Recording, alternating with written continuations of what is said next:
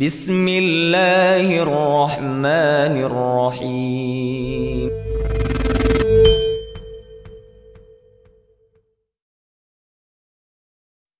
جمال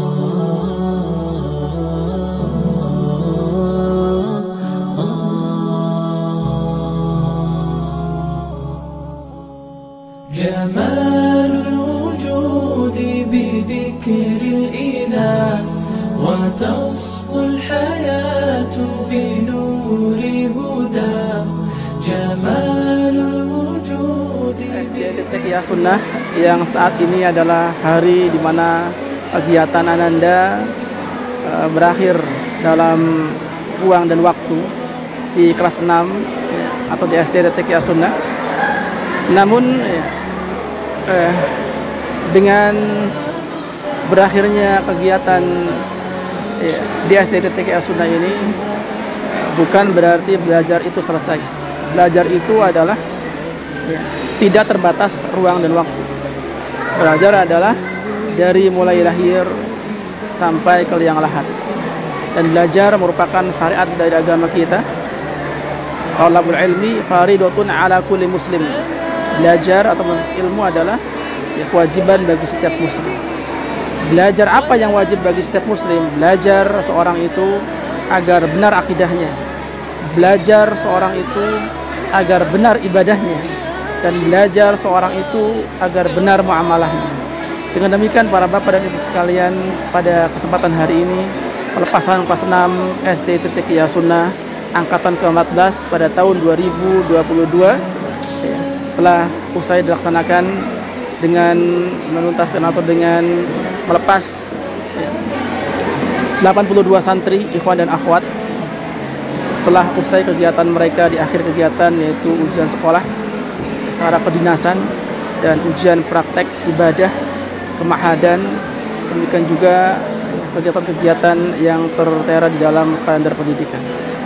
Tujuan dari kegiatan ini tidak lain dan tidak bukan mengingatkan kita semua bahwa dalam sebuah kegiatan itu mesti ada start dan finish.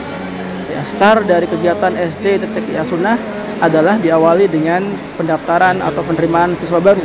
Kemudian dinyatakan lulus, kemudian dinyatakan mereka masuk dengan MPLS masa pengenalan lingkungan sekolah.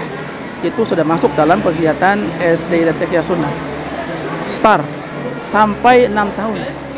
Di tahun ke-6 diakhiri dengan masa pelepasan.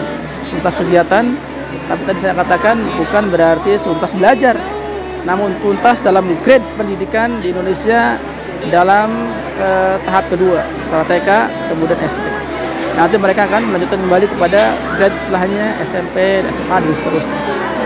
Para Bapak dan Ibu sekalian dirahmati Allah Subhanahu wa taala, dengan 82 santri yang kami lepas dengan berbagai macam kecerdasan mereka yang terbangun.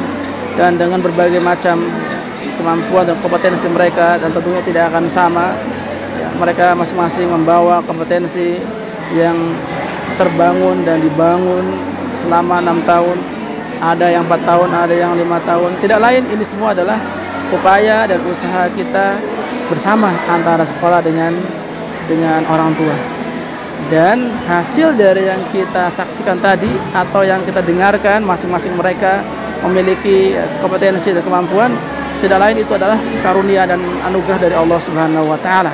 Tetap kita bersyukur pada Allah Subhanahu wa taala memiliki anak yang saat ini kita uh, lihat dan kita terima. Saat ini yang mereka berada di atas kompetensi tersebut itu anugerah dari Allah Subhanahu wa taala yang perlu kita syukuri dan kita bangun kembali masih masih lama mereka dalam dalam menempuh kehidupan mereka. Masih ada kesempatan kita untuk membangun mereka dan masih ada kesempatan kita untuk mendidik mereka sampai mereka menjadi generasi yang sukses dunia dan akhirat. Karena pendidikan adalah proyek membahagiakan manusia. Bagaimana mungkin tidak? Dari mulai tidak tahu menjadi tahu dari mulai tidak bisa menjadi bisa dari mulai sengsara dari keadaan yang sengsara menjadi bahagia di dunia dan di akhirat. Baik para bapak ibu sekalian Allah Subhanahu wa taala proyek pendidikan adalah membahagiakan manusia dan kita pun harus bahagia sebagai para pendidik baik guru maupun orang tua. Terima kasih. Sallallahu. Assalamualaikum warahmatullahi wabarakatuh.